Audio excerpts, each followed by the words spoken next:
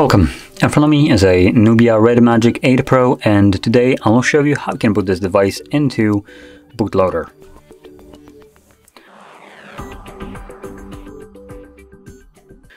So to get started, we're gonna need to hold our power button and from here we're gonna select power off.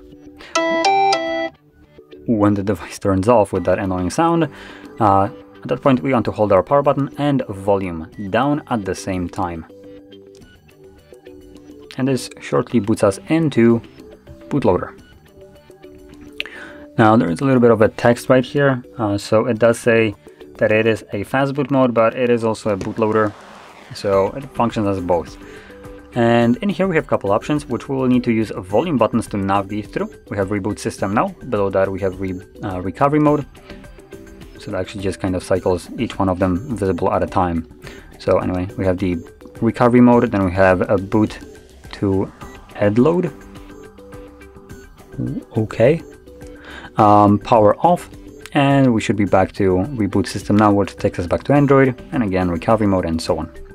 So uh, you navigate through these options using your power button, like I mentioned, or uh, volume buttons, like I mentioned, and you use power button to confirm them. So because I want to leave this mode, I'm sticking with the reboot system now, and I'll confirm it, and a simple reboot, and we should be back in Android just in a second.